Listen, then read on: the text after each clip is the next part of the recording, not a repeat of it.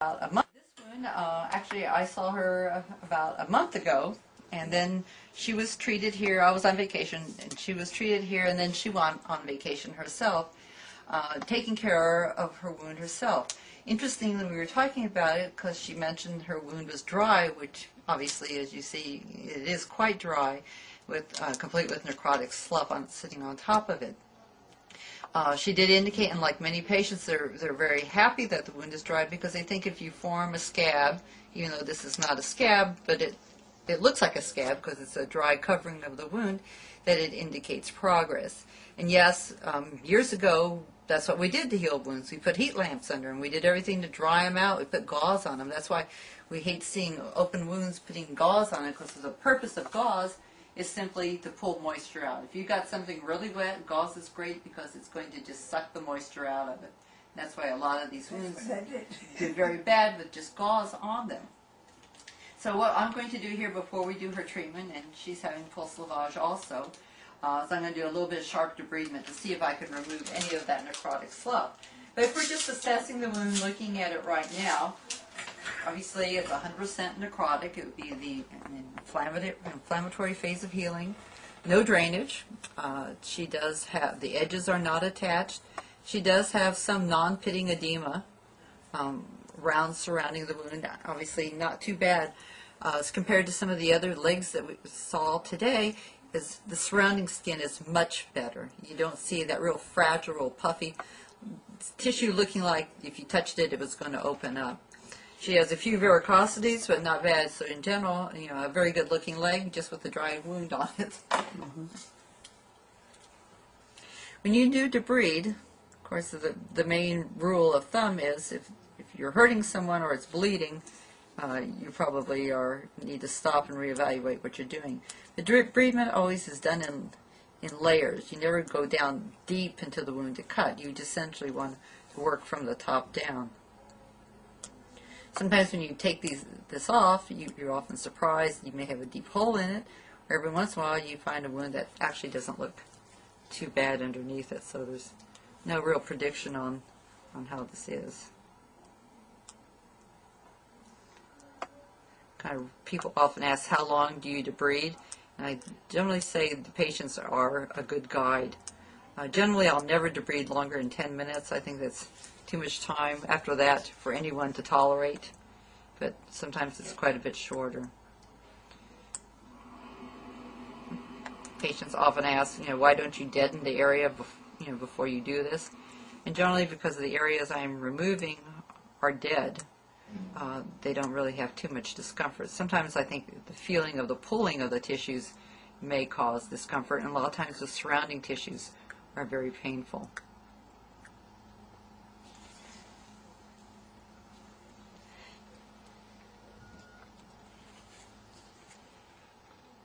So you see she's got quite a little hole here.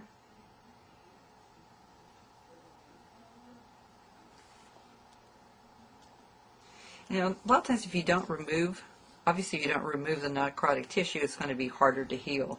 Lot- The wound needs to heal from the bottom up, and if it's filled in with this necrotic tissue, it's not going to be able to do that.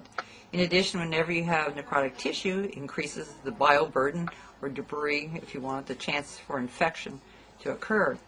Many of these wounds are a very high risk for infection simply because of the necrotic tissue present as well as the biofilms that are also present on these wounds.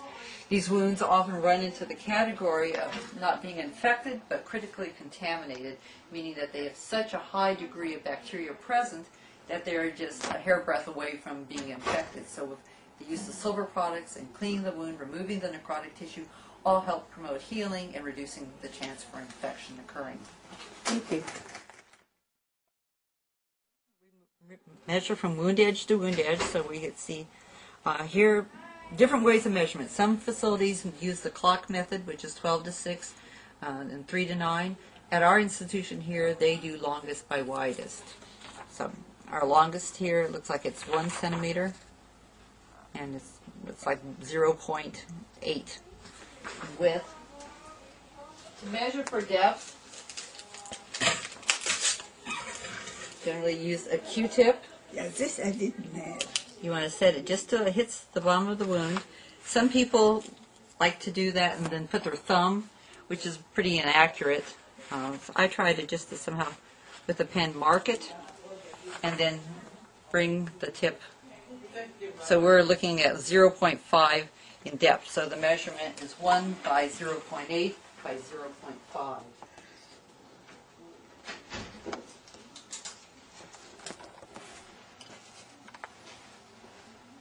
All right, we're ready to get down to business here.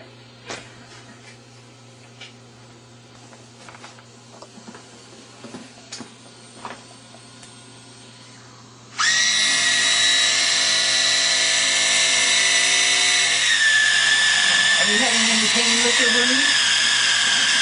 No, I just. Pain is probably uh, when the loose recessed aspects of wound care is now taking more and more interest. In fact, it's even been called the fifth vital sign. And there has, I guess now two years ago, been an international statement put out on addressing how to care for pain in the. There are many different pain uh, scales available, faces, numbers. Um, there's a recent study that showed actually that it didn't matter No, I'm here. didn't matter which pain scale that you use, whatever's most appropriate in the patient lines best. And they have even found that patients uh, with dementia were able to respond to certain pain scales such as the face. And if- if they are not- Still has some slough at the bottom at the base of the wound.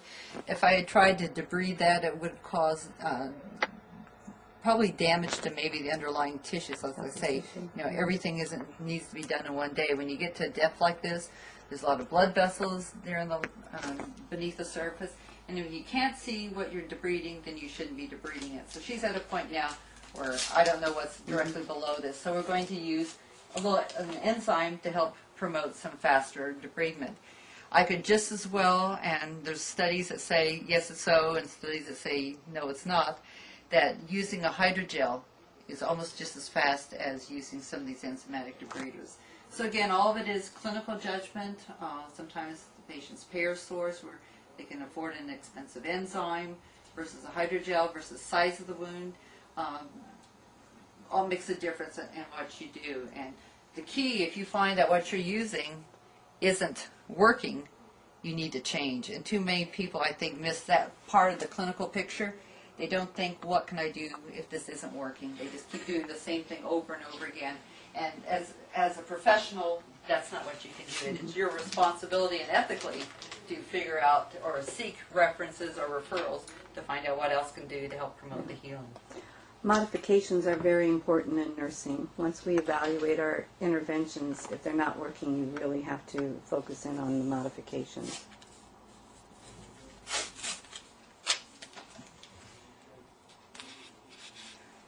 I have to do? Nothing.